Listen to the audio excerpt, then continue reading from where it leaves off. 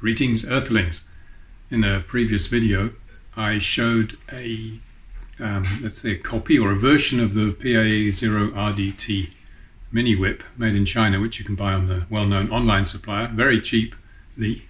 I think it was like 12 or 15 euros, and um, I couldn't make it work. And it had various design issues with it, like printed circuit tracks that shouldn't be there that needed cutting, so that the DC blocking capacitor would protect the receiver from DC, and all kinds of problems. But after all that, it still didn't work, so I, uh, I sent it back, got a refund. And then I invested the money in the original PA0 RDT mini whip from the manufacturer, inventor in um, the Netherlands. I'll put a link in the description below. And um, it arrived yesterday, and I've spent a lot of time playing with it. Um, I didn't follow the instructions, uh, which you should do because it's very critical with earthing. I just plugged it in and I was blown away by the strength of signals I was receiving from it because it really is only a small metal plate that's receiving the signals, and um, I'm blown away. Uh, let's take a look. I'll show it to you. I had to put it outside. Of course, indoors I received nothing in a flat, just noise, a lot of noise, and even on the balcony there was only noise with very little signal. But as soon as you poke the antenna outwards, then you get signals. So what I did is I mounted it on the balcony here.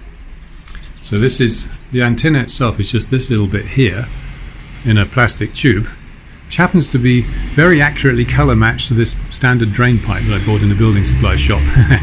um, so the actual antenna is that big. So what I did was I discovered that when I had it here, the signal strength receiver were, were low, but as soon as I just moved it out into the open air, they rose by about 30 or 40 dBs.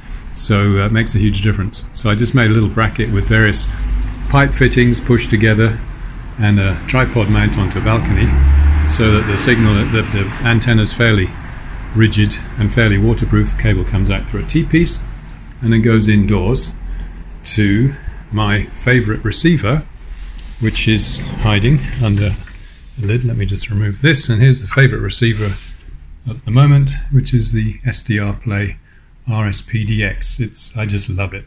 It's like a very professional piece of receiving kit um, that really works. And it has three antenna inputs, so it's easy to switch between antennas with the software to make comparisons. I really like that. Um, the software they recommend you use with it is SDR Play, which works in a very professional way. It's a bit weird sometimes, I find, um, but it's about to be replaced by a, a newer software from SDR Play, which will also run on Linux, which is one of my favorite operating systems. This is Windows 10 here which I had to install.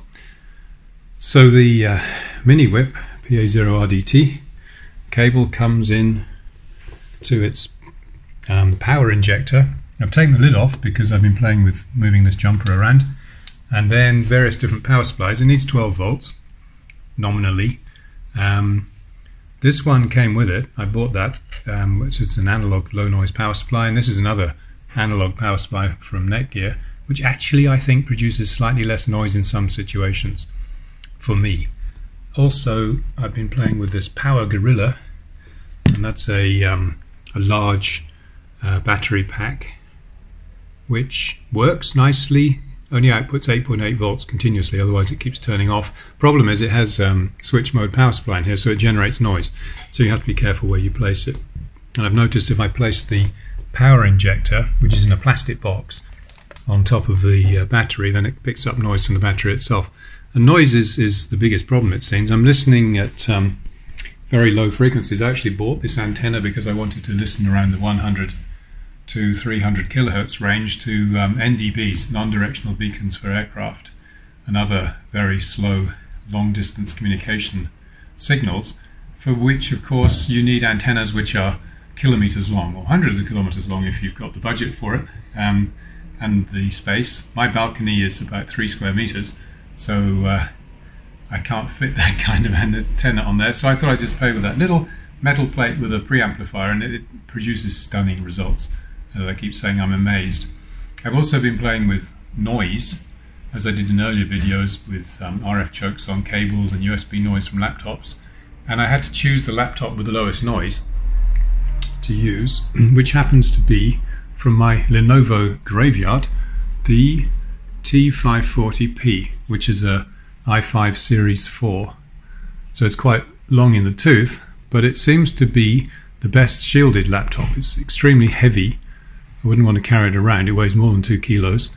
Um, but when you look inside, it has a very solid metal frame, um, magnesium alloy or aluminium alloy. I'm not sure what it is, but it's well shielded and uh, really produces quite low noise.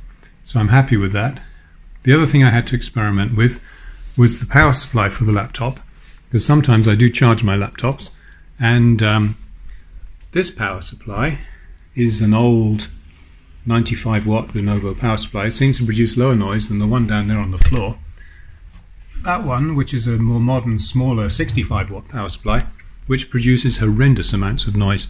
I was shocked when I was charging or running the laptop from the power supply. I couldn't hear anything. As soon as I unplugged the charger, then the noise disappeared. And it's really quite critical to play around with noise sources in this kind of receiving situation, and also to use this ground isolating jumper from time to time.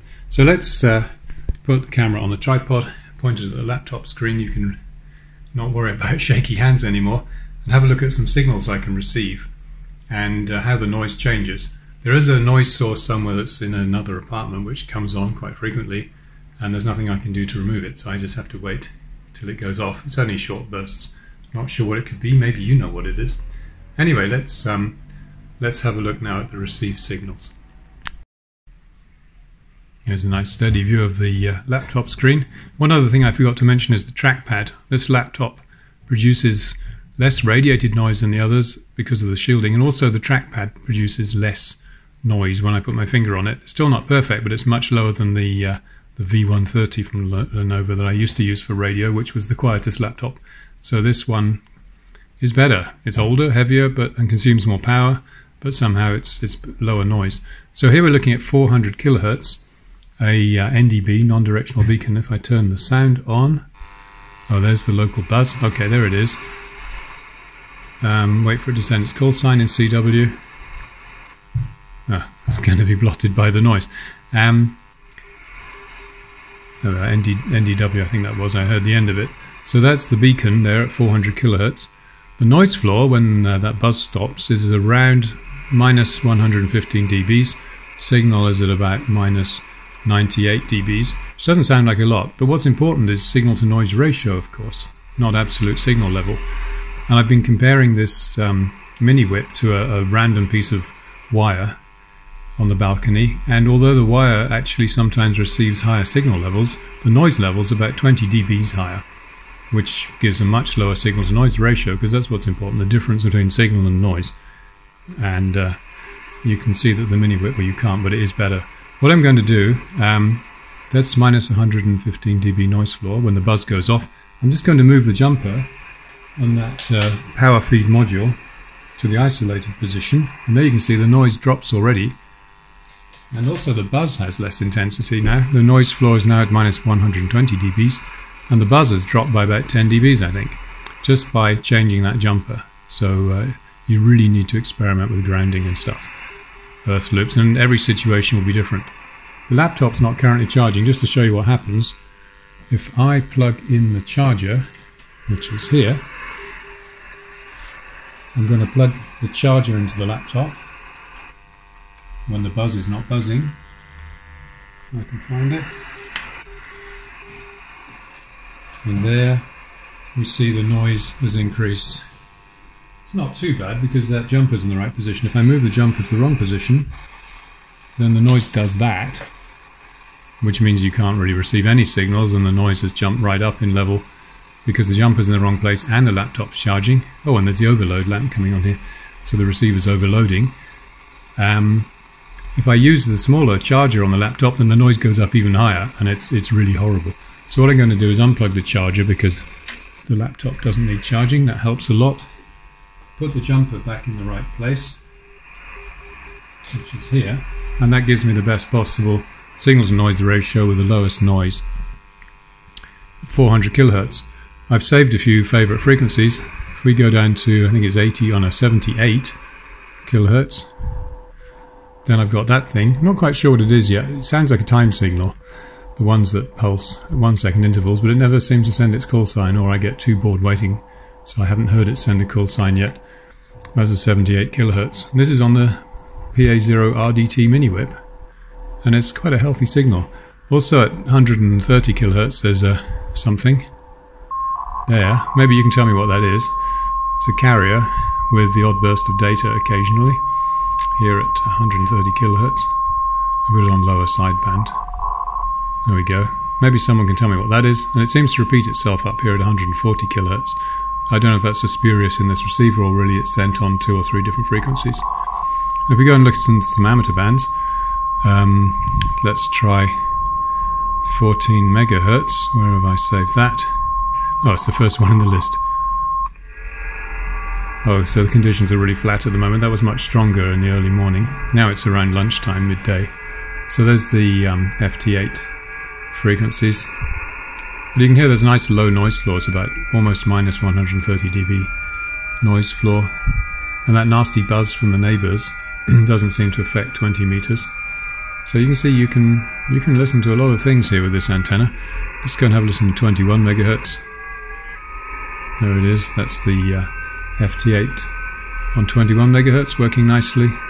My favorite 10 megahertz weather RTTY weather forecast is there. That's always there. It's a good thing to go and look for at 10.1 megahertz. If you listen on upper sideband, it sounds like that. Sending RYRY at the moment. Uh, what else have I got saved? That's it, really. The aeronautical beacons. Because I really wanted to listen to low frequencies, and, and that antenna is really good. The PA0RDT. I'm, as I said, I'm, I'm blown away by the performance. Low noise. Let's turn the sound off. Low noise and some signal received. It may not be the strongest signals ever, but in a situation with a tiny balcony on a flat, then it's it's pretty good. Um, I'll just show you another receiver I really like, which is different to this one. So let's just go and get that. So my other favorite receiver, which works remarkably well, even at low frequencies, that's where I discovered those NDB beacons, um, is the D808. This is actually a Don version. The original one was XH Data. I think it's the same company, they just put a different name on it. This I got recently, and I'm also shocked at how well this works. Um, it has an antenna socket on the side, so you can plug in an antenna in the ground, 3.5 millimeter jack. So I made some adapters to BNC and SO239.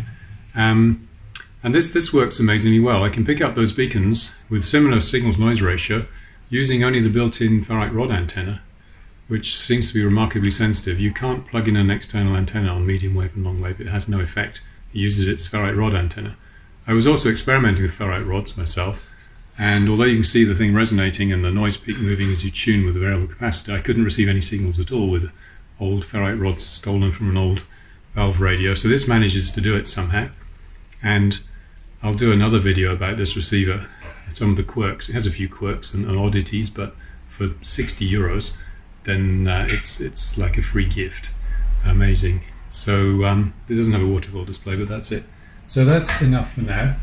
Please make comments below. I'm interested in hearing about your experiences or suggestions, maybe identify some of those VLF signals, and uh, I'll make another video soon. Thank you for watching. Please like and subscribe.